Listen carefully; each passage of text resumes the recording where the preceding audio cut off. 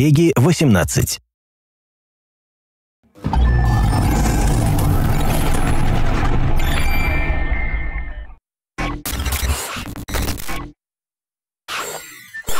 Hi, my name is Colin Graham, and I'm the animation director on Watch Dogs. Today we're going to take a look at some of the groundbreaking multiplayer gameplay. In the world of Watch Dogs, everything is connected. We took the online features and we blended them seamlessly with the single player features of the game. So the single player and the multiplayer, it all happens in the same world. Right now we're going to show you how we can connect to other players in three very distinct ways. Online hacking contracts, CTOS mobile companion app, and the competitive decryption combat. In Watch Dogs, everyone casts a digital shadow. All that information is out there for us to see. Right now in the game, we're exploring the living city. I'm using the profiler to hack citizens. I'm looking for personal data. I'm also looking for bank accounts, collecting passwords, and learning their secrets. In Watch Dogs, these secrets will lead to gameplay. I was listening to these guys on the bench, and you can see that one of them has an open online contract. Now, if I accept this contract, I would actually enter another player's game, but I'm not ready to hack another player just yet, so I'm going to keep going.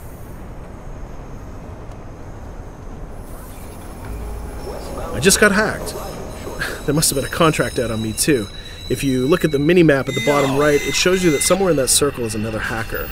I'll have to profile everybody to figure out who the hacker is. Just to explain to you what happened, let's rewind a bit and take a look at this from another player's point of view. Hi, my name's Carsten Myhill from the Assassin's Creed brand team, and I've been invited to try out some of Watch Dogs' online features. It's me that's hacking into Colin's game, and I'm going to show you how I did that. I've chosen this inconspicuous vehicle and I'm going to park up here and survey the situation.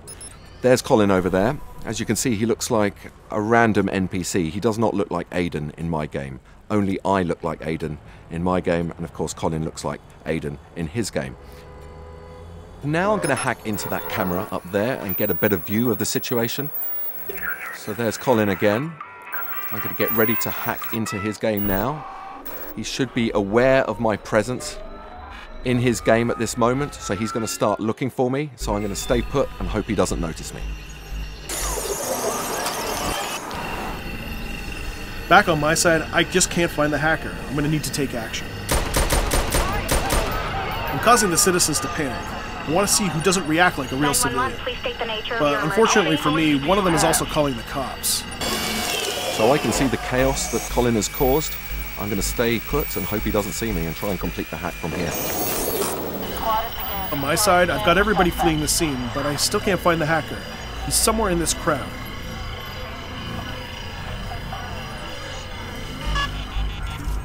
Hiding in a taco truck? Seriously? Oh crap, I just blasted one of the civilians too. That's not going to be good for my reputation. I'm going to have to take this car and I'm going to have to run him off the road. Be advised, units are route to the location.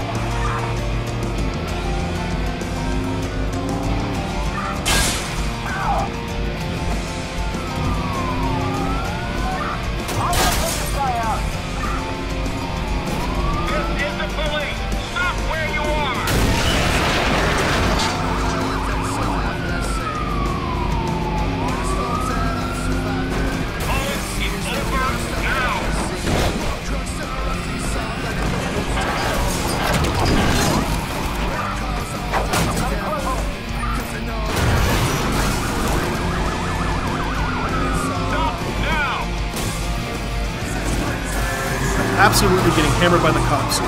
My initial idea to smoke them out really worked, but with all these cops, this is really starting to backfire. Looks like I've just about escaped from Colin here. I'll just hack this bridge and raise it behind me just to make absolutely sure.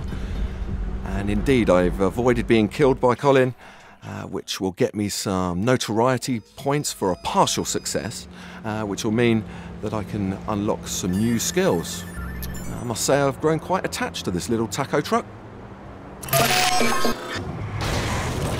Even though Carsten did get away, I still spotted the hacker, and I got some partial notoriety points. I'm going to use that to upgrade my skills tree. Carsten, thanks for coming by. Oh, my pleasure. Tons of fun. Now, let's move on to something different. Here I just accepted a challenge to play against somebody on the free CTOS mobile app. You see this helicopter? That's controlled by a mobile player. He controls the helicopter and he tries to fix the spotlight on me, and he also controls the police. In fact, he controls anything that can be hacked. And he's going to use all of that against me. The mobile player has challenged me to a race course. He could be sitting right next to me, or he could be halfway around the world, sitting on a bus. As Aiden, it's my goal to get across the city and get through all of the checkpoints on time. The mobile player's goal is to try and stop me. Remember, I'm still driving in the same world.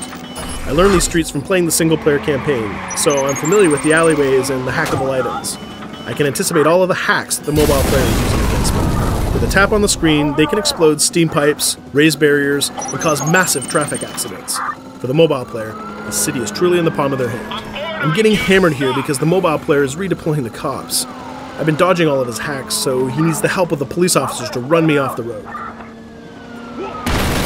He tried to take me out with a steam pipe hack, but I managed to slip past, and he knows.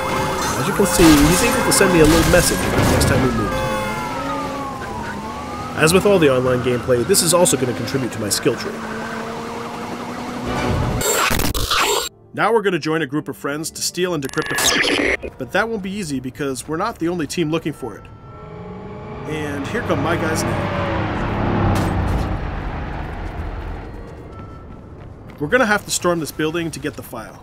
And there's the other team. David's flanking left to slow them down, and we're heading right.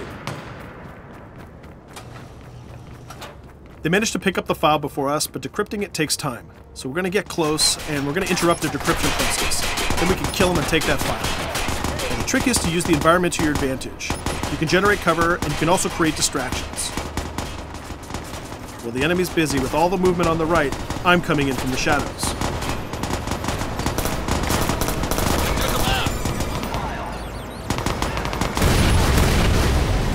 They dropped the file, so I'm gonna go get it.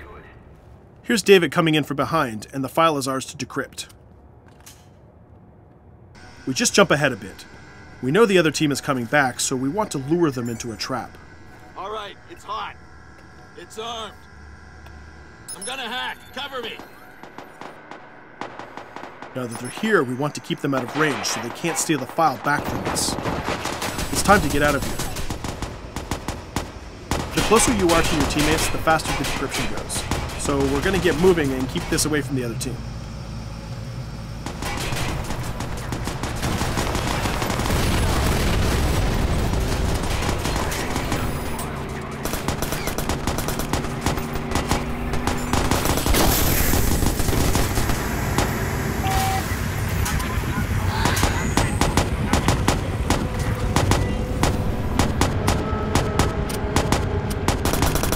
The other team is starting to lose, so they have to get close to us. They have to get back in range. We don't want that to happen, so once again we're going to use the environment to fight them off. Like hacking that steam pipe. Blows them right into the wall.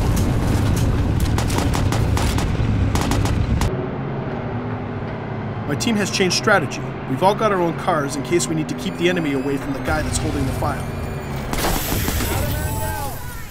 They're close enough again to interrupt my decryption and save me my jam comms ability if really needed. Jam comms temporarily shuts down their hacking ability. All we need to do now is hold them off.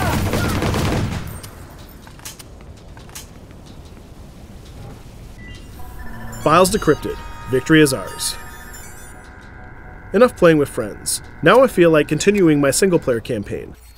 I can see that Jordi's close by. I'm gonna go see what he's up to. We've just shown you three different ways that Watch Dogs allows you to seamlessly connect your experience with other players. In the world of Watch Dogs, everything is connected. We look forward to seeing you online May 27th.